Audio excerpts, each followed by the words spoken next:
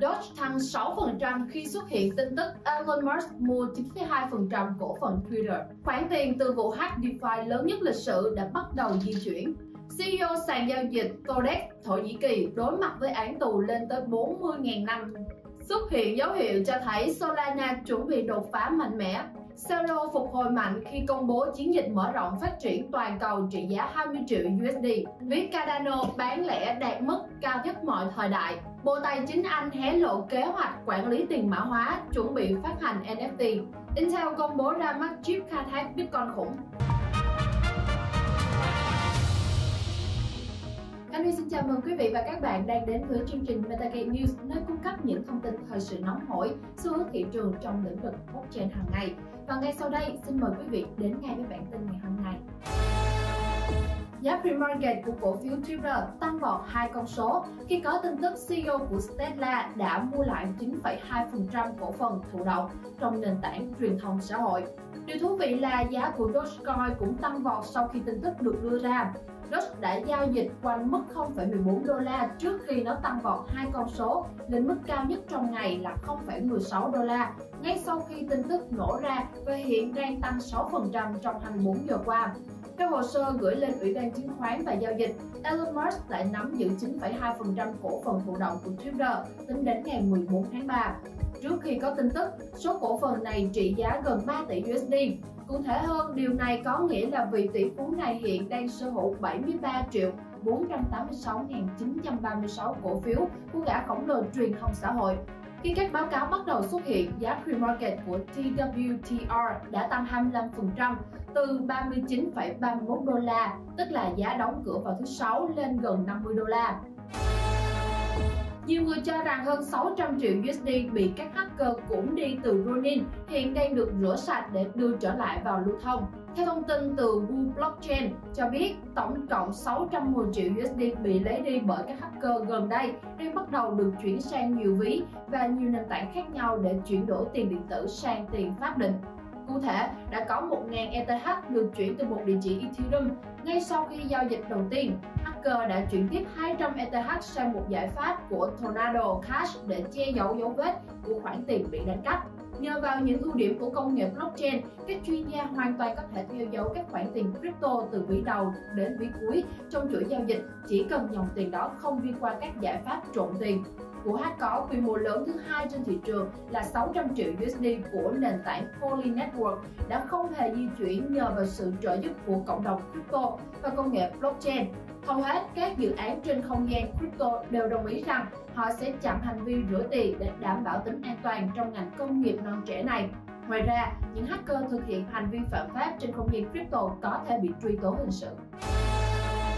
Vào tháng 4 năm 2021, sàn giao dịch tiền điện tử Forex bất ngờ ngừng hoạt động. Farouk Fatizos là giám đốc điều hành của nền tảng giao dịch đã hoàn toàn mất tích kể từ thời điểm đó. Nhiều thông tin cho rằng ông ta đã ôm hơn 2 tỷ USD của các nhà đầu tư và bỏ trốn.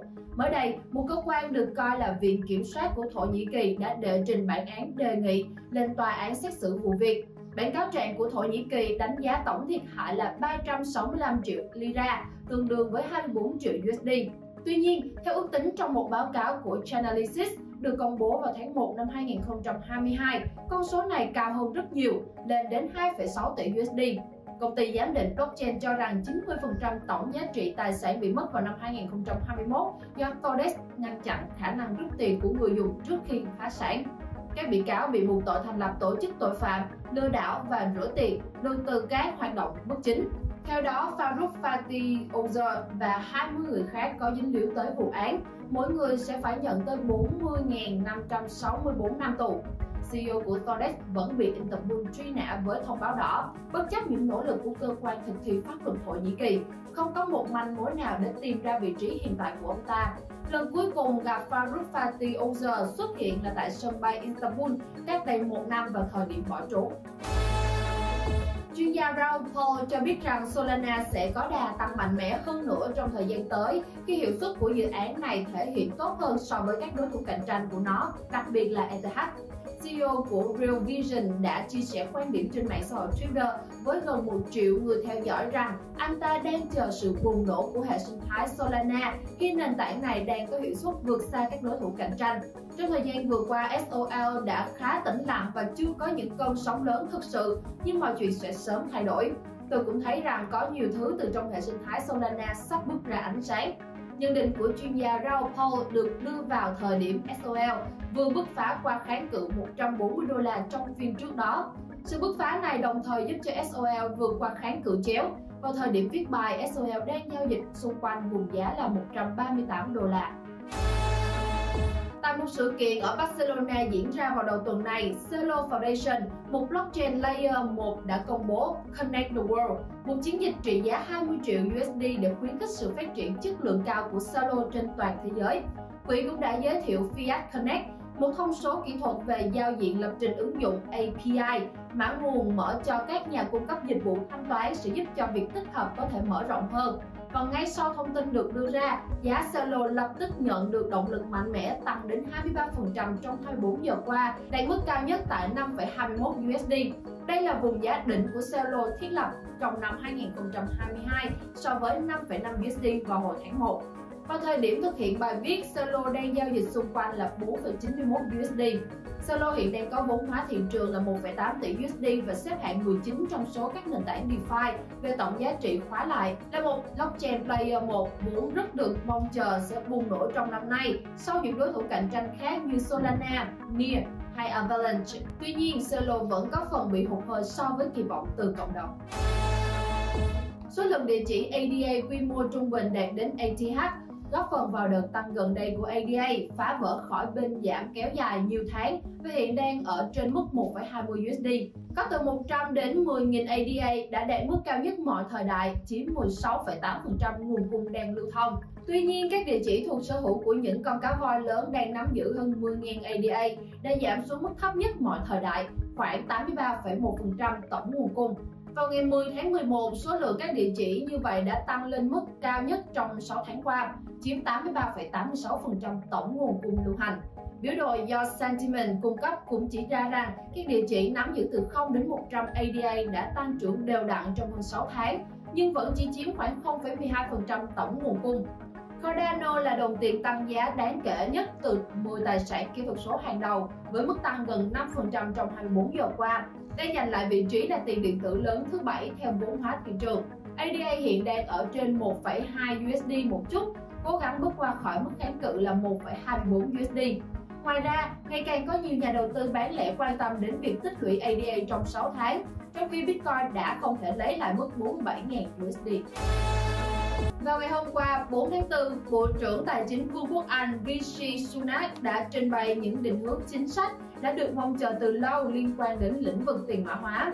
Theo đó, chính quyền Anh quyết tâm sẽ biến đảo quốc sương mù trở thành trung tâm toàn cầu cho công nghệ tài sản mã hóa thông qua các động thái bao gồm ban hành chính sách quản lý stablecoin, xây dựng một khung pháp lý thử nghiệm để khuyến khích các tiến bộ mới trong ngành, đạt mục tiêu hoàn thành vào năm 2023, khám phá cách gia tăng tính cạnh tranh về thuế tại Anh Quốc để thúc đẩy ngành crypto, tổ chức hội nghị Crypto Sprint vào tháng 5 năm 2022 để lấy ý kiến đóng góp từ những công ty lớn trong ngành tiền mã hóa, thành lập nhóm nghiên cứu tài sản mã hóa để cố vấn cho chính phủ về các vấn đề liên quan đến tiền mã hóa.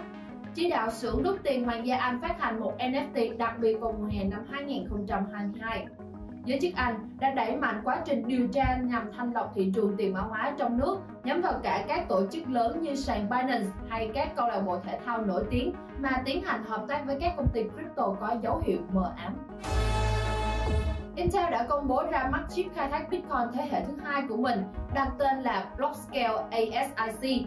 Theo Intel, các tính năng chính của chip mới bao gồm bộ xử lý ASIC Hash Algorithm 256, an toàn chuyên dụng, hoạt động tốc độ băm lên đến 580 GHz trên một giây và hiệu suất năng lượng lên đến 26 G trên 1 TH.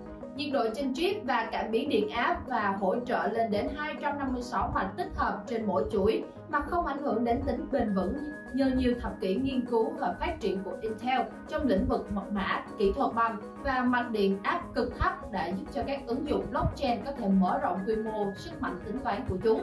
Intel Blockscale ASIC sẽ đóng góp vai trò quan trọng trong việc giúp các công ty khai thác Bitcoin đạt được cả mục tiêu bền vững và mở rộng tỷ lệ băm trong những năm tới.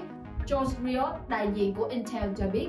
các công ty đã đăng ký mua chip mới của Intel có Argo Blockchain, Block INC, Hive Blockchain Technologies và GRID Infrastructure theo thông báo.